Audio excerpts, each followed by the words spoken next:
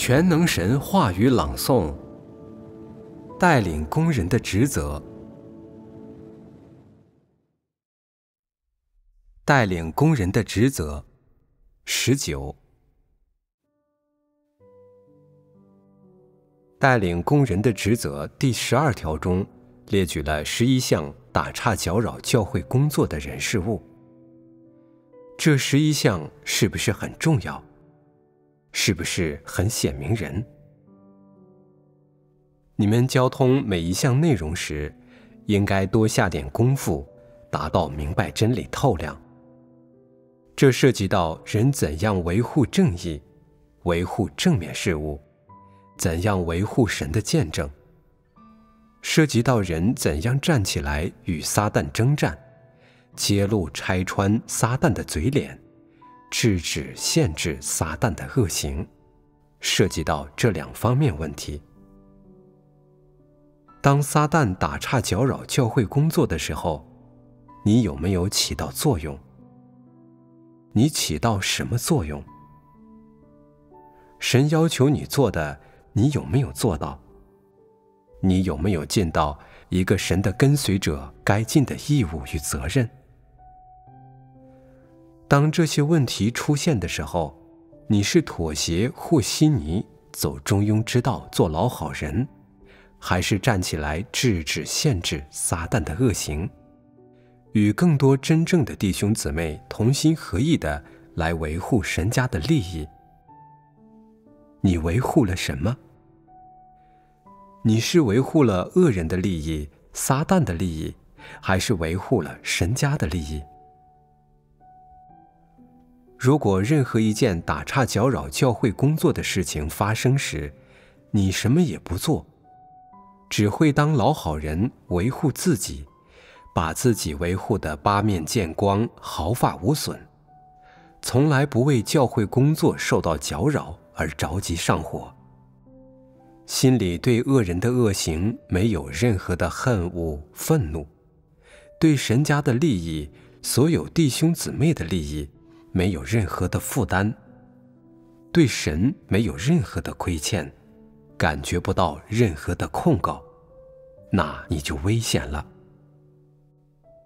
如果在神那儿看，你是个彻头彻尾的老好人，连到什么事都能袖手旁观，都能逃避，尽不上丝毫的责任与义务，那你真的就很危险了。容易被神淘汰。如果在神那儿有一个意念，连让你效力的这份心思都没有了，神厌烦你了，这时你就注定被淘汰了。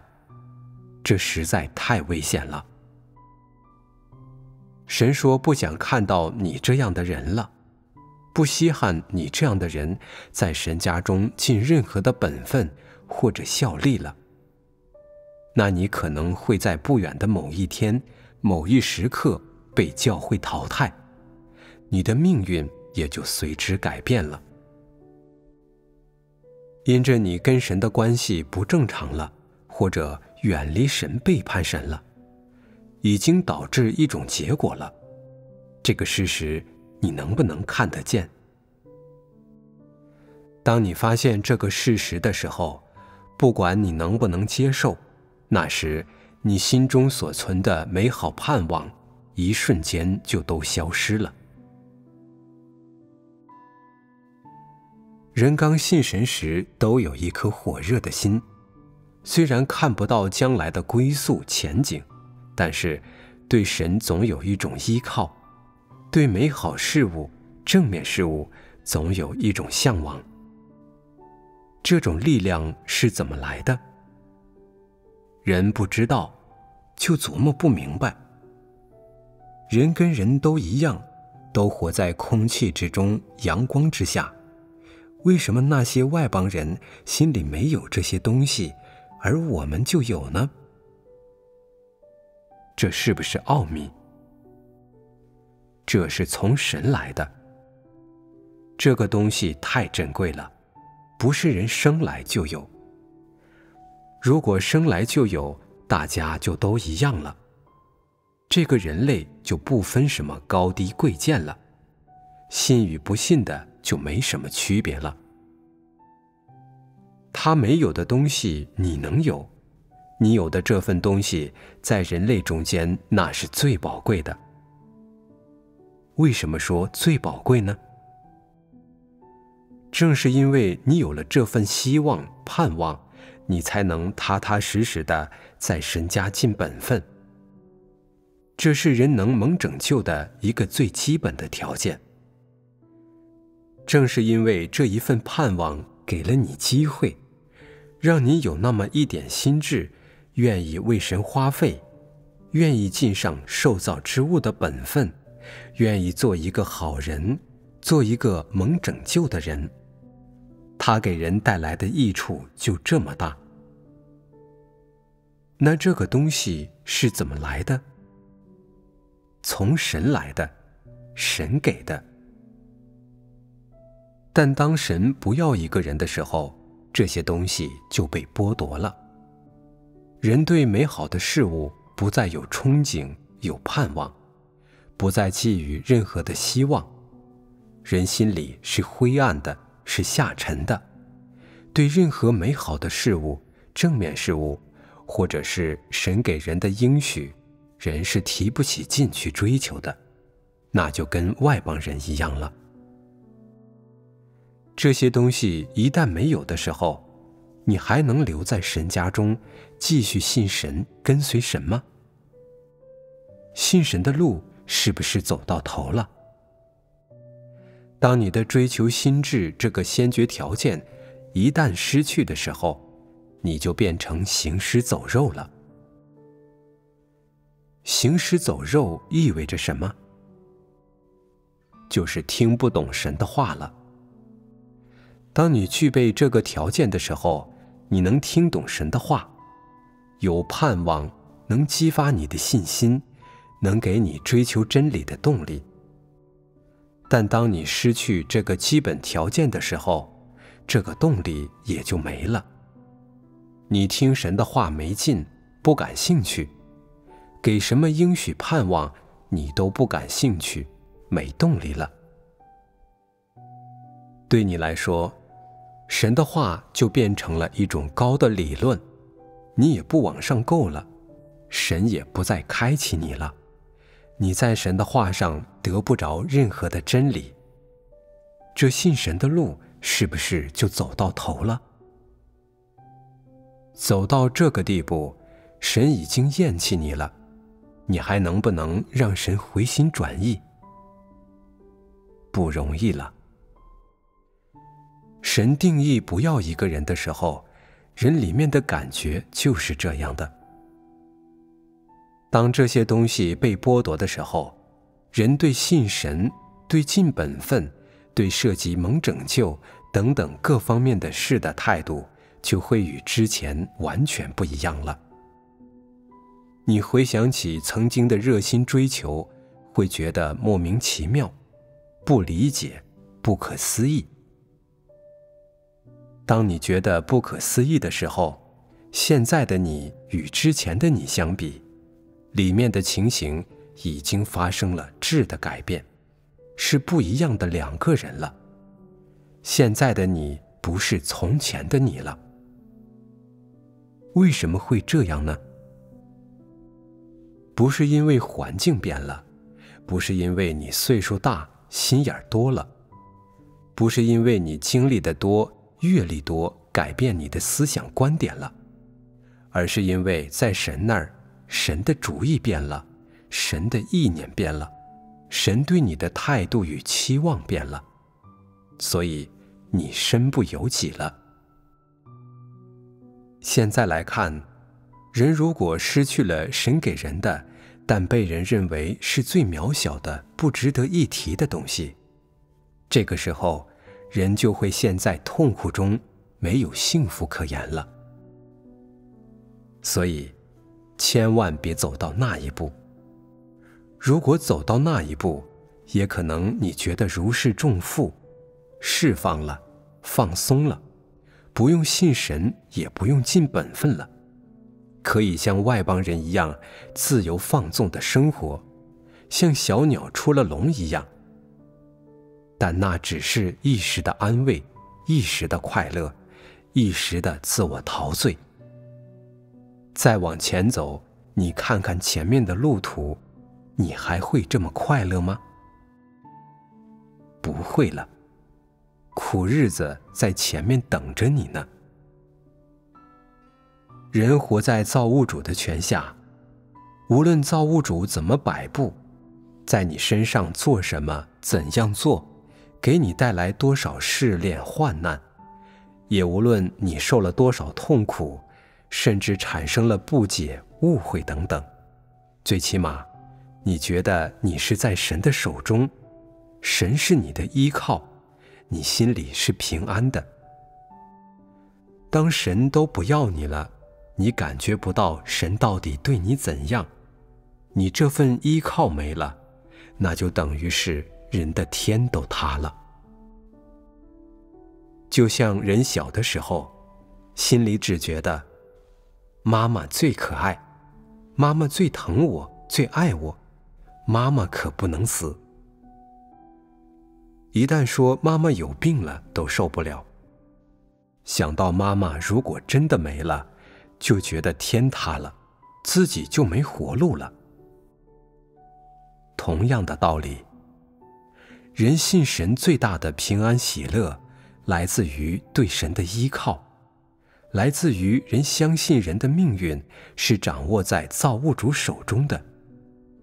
人有这份踏实，是因为人有这样真实的信靠。当你觉得这份信靠没有了，心里空了，像挖了个洞一样。那你的天是不是就塌了？你的依靠没了，你活着还有劲吗？这类人就是行尸走肉了，就是混吃等死了。现在有些人因为一贯的表现不好，在尽本分中一直作恶。打岔、搅扰、破坏教会的工作，甚至给神家的利益带来很大的损失。他们从来没有表现出对神的真心、忠心，更谈不上什么顺服了。在神那儿，从来就没有承认过他们。他们是抱着得福的存心混进神家的恶者。神允许他们进来。也是为了让神选民学点功课，长点分辨。他们虽然也属于被召的人，但是因为他们一贯的表现，他们并没有被选上。那他们的光景怎么样呢？你们可以打听打听，哪个人的日子都不好过。有神做依靠、做随时随地的供应的人。与临到什么事都得不着神的供应帮助，时时刻刻都陷在无底深坑的人，是有截然不同的生活质量的。得不着神供应的人，没有平安喜乐，只有整日的惶恐不安、焦躁忧虑。那是什么日子？无底深坑的日子好过吗？不好过。别说无底深坑了，就是接连消极几天，你都痛苦的要死。所以说，珍惜现在的时光，别失去这样的好机会，能在神六千年经营工作当中尽上你的本分，这是你的荣幸，这是每一个人的荣幸，这不是什么屈辱的事。关键是你怎么对待。怎么还报从神得来的这份荣幸？神高抬你了，你别不识抬举，你得知道还报神的恩。怎么还报？神不要你的钱，不要你的命，你家有什么祖传的好东西，神也不要。神要什么？神要你的真心与忠心。这个真心忠心，表现在什么地方？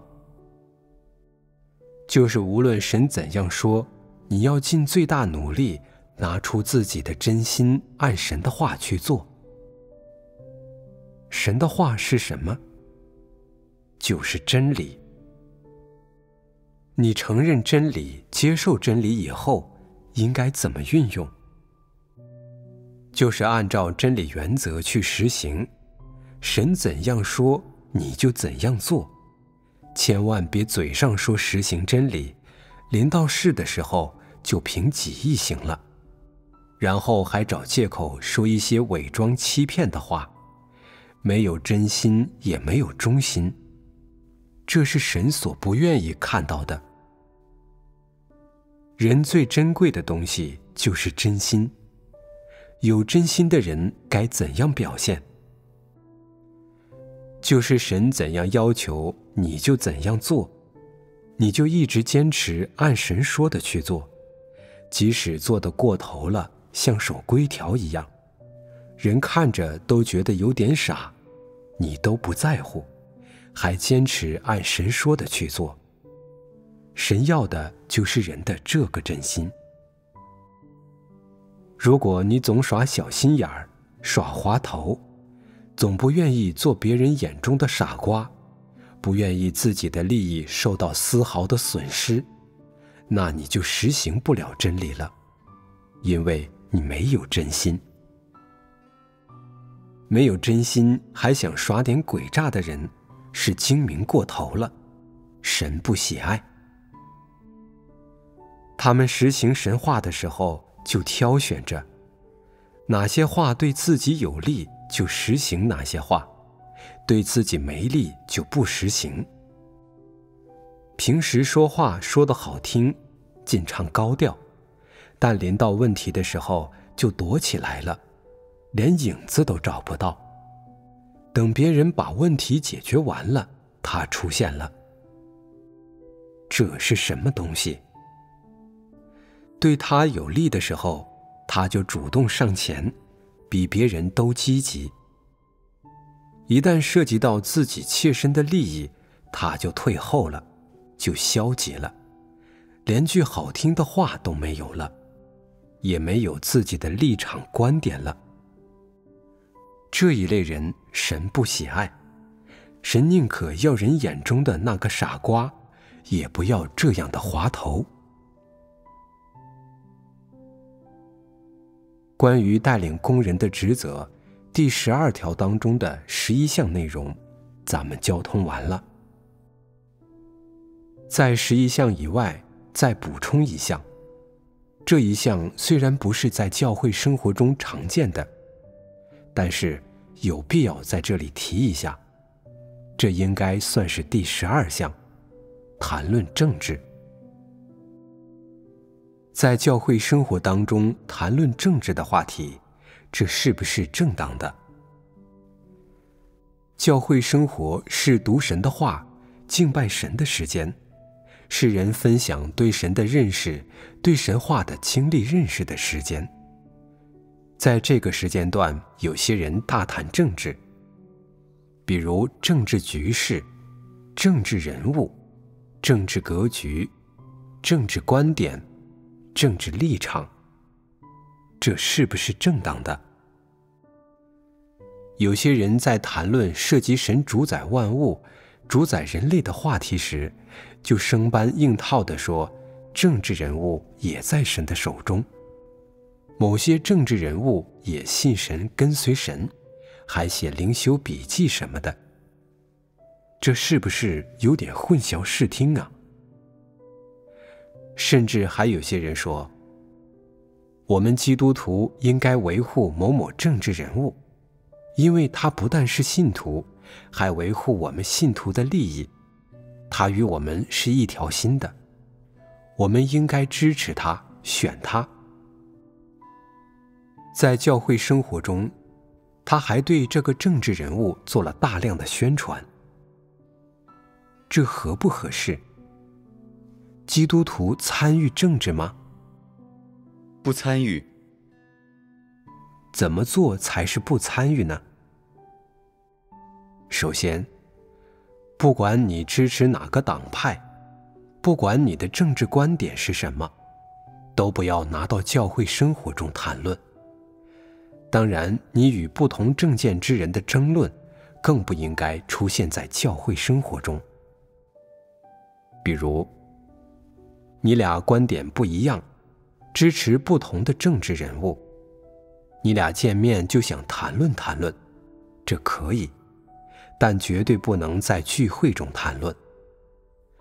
你俩私讯也好，见面说也好，或者是争吵的面红耳赤也好，别人都不干涉。这是民主制度之下一个公民的权利。但是，过教会生活的时候，你不仅仅是一个国家的公民，更重要的是，你是全能神教会的一份子。在这里，你是这样一个身份。你不要把政治的话题与政治人物的话题带到教会中，那只代表你个人的立场观点，不代表教会。教会对政治不感兴趣，对任何的政治制度、政治人物、政治领袖以及政治团体都不感兴趣，因这些事。都不涉及真理，都与信神无关。凡是涉及政治的话题，都不要带到教会生活中来谈论。有些人说：“那在教会生活以外，大家聚在一起谈论这个事行不行？”最好也不要谈论。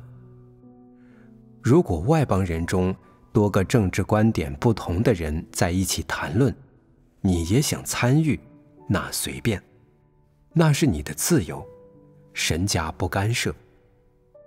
但只要是教会成员聚在一起的时间，正规的聚会时间，你都不要把这些政治观点论述拿出来当正题说，也不要虚伪的冒充你的政治观点与神的话、真理，或与神的主宰有任何的关联。这与真理没有丝毫的关系，八竿子打不着，不要冒充。有些人想谈论政治，在家里没人跟他谈，谈论不起来。他看弟兄姊妹都是成年人，就找到谈论政治、发泄政治观点的出口了。他找到了好机会，兴致就来了。就想谈谈政治观点，谈谈时事，谈谈国际形势。他谈这些时，前面的台词是：“这一切都是神主宰，人类的政治，这些政客也都在神的主宰之下，他们也是神命定的。”交代完这些前奏之后，就开始大谈特谈政治的事。谈论时事了。谈论完之后，再来个总结，说：政治也离不开神主宰，都有神的美意。对这些事看不透，别乱说。交通真理就是交通真理，别谈政治，别谈政治人物，谈涉及政治的事，就不是交通真理了，这是迷惑人。你想谈论政治，你就单独找一伙喜爱政治的人去谈，那谈得多尽兴啊！你总在教会里谈这些话题，是什么意思啊？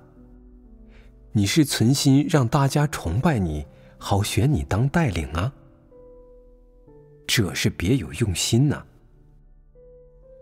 好谈论政治的人，就是不务正业的人。绝对不是追求真理的人。在教会聚会中，千万别谈论政治的话题。有些人说，不谈论自由国家的民主选举、政治制度、出台的政策，那谈论大红龙国家的政治与上层官员的那些丑事，哪个贪官贪了多少黄金，包养了多少女人？谈论这些事行不行？你不嫌恶心呢？你怎么那么关心这些恶心事呢？我怎么觉得关心这些事、看这些事那么恶心呢？有些人对这些事特别感兴趣，丝毫不恶心，就愿意在网上看这些事，没事就看。他看这些事，心里舒坦踏实，心里充实。他看神的话，怎么没那么充实呢？这是不是有点邪门？是不是不务正业呀？大好的时光，哪怕到院子里溜达溜达，呼吸点新鲜空气，看看远处，心情也好。有些人就不去，他有点功夫，就在电脑上盯着看有什么新闻，赶紧搜集点小道消息。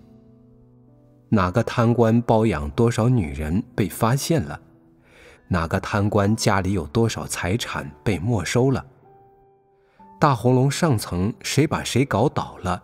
谁把谁暗杀了？平时可关心这些事了。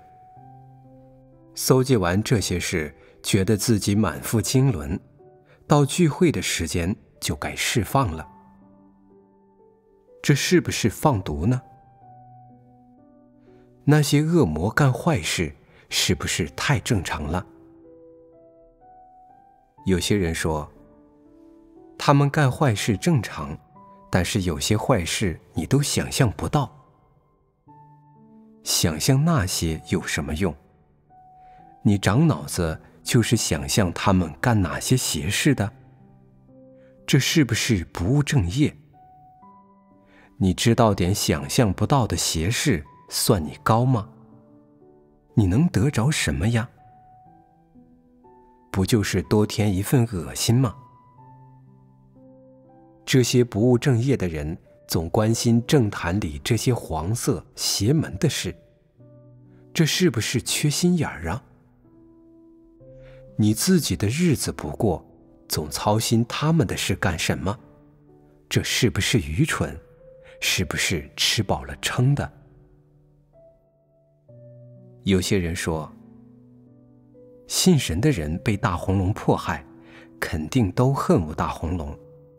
大红龙上层发生的那些丑事、贪官污吏的事、淫乱的事，以及那些黑幕，信神的人肯定都感兴趣。如果揭露那些丑事，信神的人是不是应该拍手称快呀？你信神、跟随神，就是为得着这些东西的。在教会中谈论政治的事。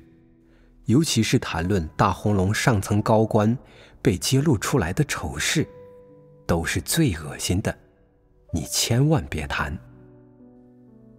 你也别跟我说，我恶心。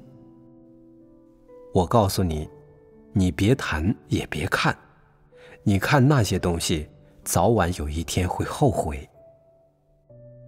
当你后悔的时候，你就知道是什么滋味了。要多恶心有多恶心。那些事听多了、看多了，没什么好处。为什么说没什么好处呢？就是恶心的事装多了，你就没心思听神的话了。这类话题虽然也涉及政治，但这些事更恶心。如果你喜欢说。你找外邦人一诉衷肠，想怎么说就怎么说，千万别在教会生活中或者弟兄姊妹中间说。有些人说，说说大红龙上层那些脏事、邪恶的事，让弟兄姊妹长长分辨，解解气呗。解气有什么用啊？解气是做见证吗？是你的义务本分呢。说那些没用，一点价值都没有。不管你揭露大红龙多少邪恶的事，神都不纪念。相反，你如果说说你在大红龙国家怎么经历大红龙的迫害，怎么摆脱、战胜大红龙对你的恐吓威胁？同时，在这样的环境之下，怎么依靠神站住见证的？你谈这些，神悦纳；你谈论政治，与生命进入无关，神不悦纳。有些人说，我揭露大红龙官员贪污，吃一顿饭花几万元，住豪华宾馆花多少美金，这行不行啊？这与你有半毛钱关系吗？这个世界社会不就这样吗？你替谁打抱不平啊？这不是为神做见证，不是揭露大红龙的本质，也不是背叛大红龙的表现。